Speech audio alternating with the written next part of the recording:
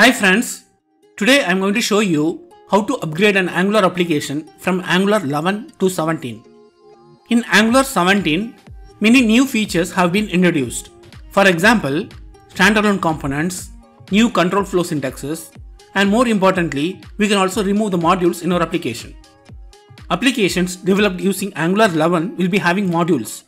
So I am also going to show you how we can remove the app module, app routing module, etc. and make our application completely standalone. So the migration from Angular 16 to 17 is very important because in near future you may be migrating your Angular 16 application to 17 in your official projects. So don't miss it. Also, I'll be uploading many more useful videos in this channel. Being a web developer, this channel will be very useful to you. So I request you to subscribe to this channel and support me. Okay, let's start. I have taken this application. In this application, I can log in to see some trending movies, popular movies and all-time popular movies. I can open any of the movies to see the reviews and I can also submit my review with a rating. Actually, in this application, I have used all basic concepts in Angular and I have already uploaded a video on how to create this complete application step by step. If you search in YouTube for Angular complete project tutorial, you can find my video. This is one of the most watched videos in my channel. I have also put the link to this video in the description. If you are interested, you can watch that. Okay. This application is in Angular 11. We are going to migrate this to Angular 17. Actually, we should not directly migrate to 17. We have to go step by step. There is a site available. We can use that for reference. Even in that, if you select the versions from 11 to 17, it will first ask us to migrate from 11 to 12. You can see that here. So first we need to migrate from 11 to 12. To explain this migration, I have already downgraded my node to version 14 and my Angular to version 11. Okay, let me copy this command and run. The update is in progress. It will take some time.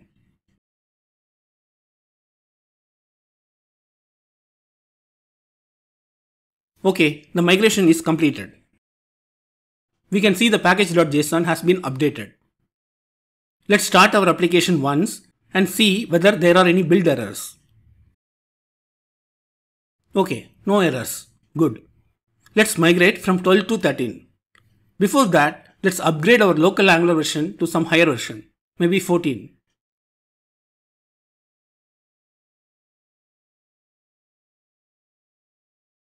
Okay, now let's run this command.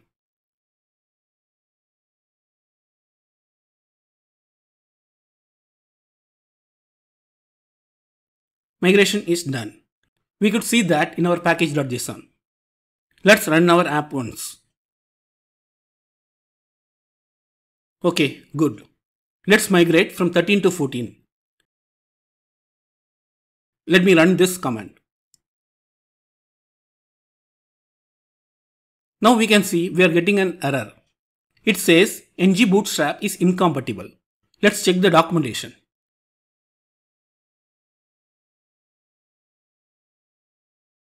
We can say for Angular 14, we have to use version 13 of ng bootstrap.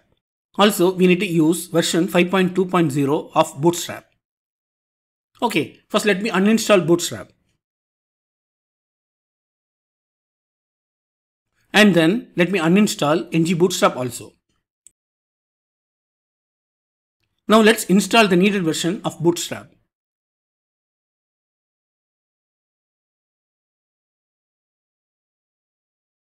And then version 13 of ng bootstrap also.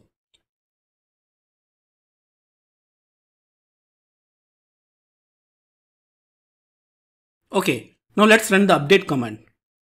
Now it is updating. Updated. We can see it in package.json. Let's run it once. We can see an error. This is because if we go to the documentation of ng bootstrap, we can see popper is required. Let's install that.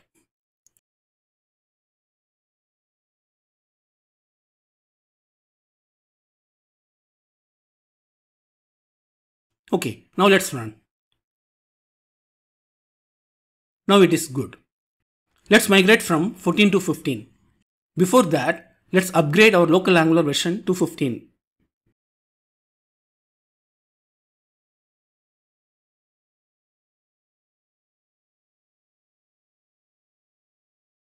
Okay, now let's run this command.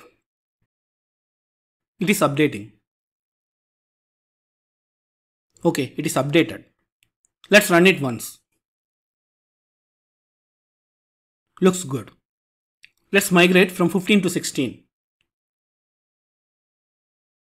Here we can see Angular 16 supports Node.js version 16 and 18. So first we need to upgrade the Node.js. Let me upgrade it to 18.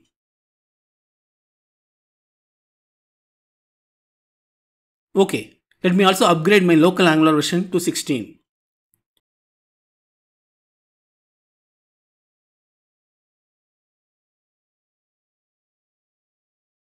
Now let me run this command.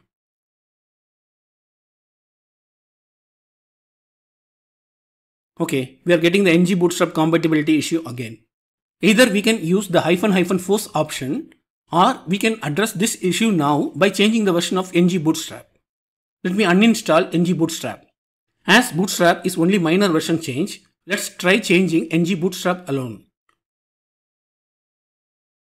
Now let me install version 15 of ng bootstrap. It is throwing error because this version has a dependency of Angular 16. So we have the only option to use force. Let me do that.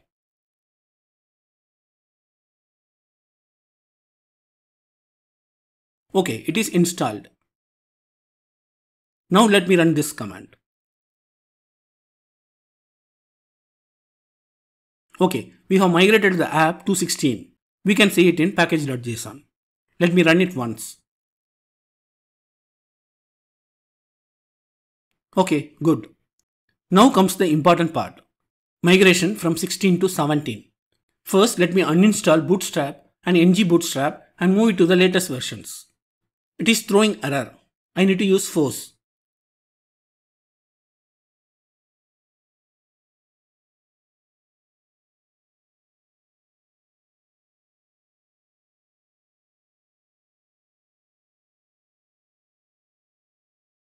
Okay, let me also upgrade my local Angular version to 17. Now let me run this update command.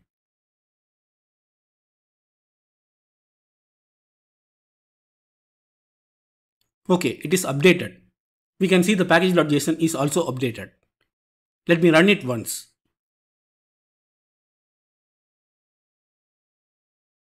Okay, looks good. But we can see even though the application is updated to 17, it is not using the awesome features from Angular 17. The components are still not standalone. ng module is still there. Still using the old control flow syntaxes ngif and ngfor.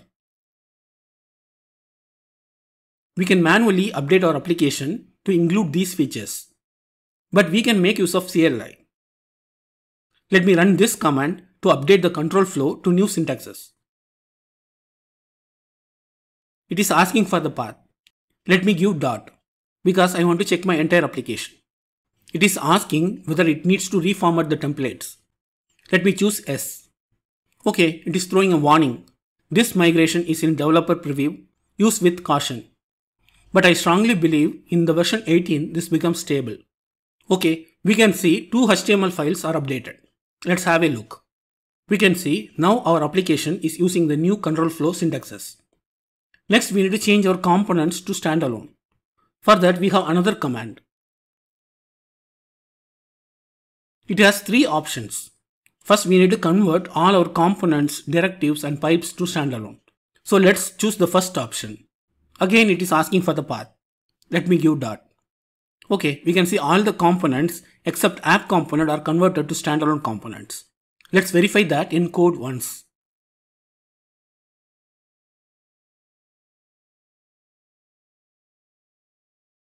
App component is still not standalone, but other components are standalone. We can see this star rating component is also standalone now. And so now we don't need this feature module.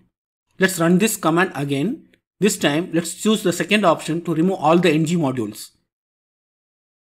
We can see feature module is deleted, but still we have the app module. That is because our main.ts is bootstrapping our app module only. And our app module in turn bootstrapping our app component. That is the reason our app component is also still not getting changed to standalone. We need to change that. For that, we can use the third option.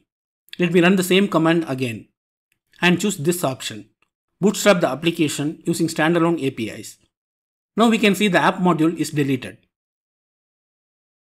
App component is changed to standalone. And in main.ts, we can see it is bootstrapping app component directly. So now our application is completely standalone, right? No, we still have one more ng module, app routing module.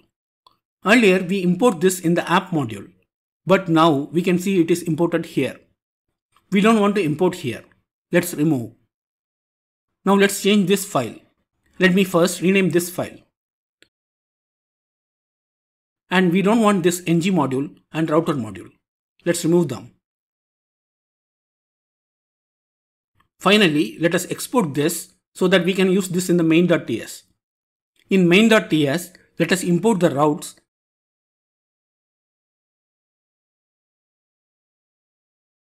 and let us use the new function provide router like this. Now we have removed all the ng modules from our application. Let's start the app once. Good. Let's test it once.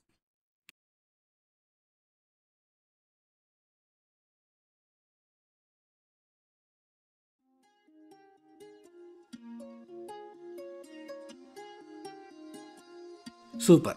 It is working like before. And so we have successfully migrated our Angular 11 application to Angular 17 and we have also made use of the latest features from Angular 17. Hope you like this video. Please subscribe and support me. And if you like this video, please hit the like button and also post your valuable comments. That will help me a lot. Okay, I'll be back with another concept soon. Thank you. Bye.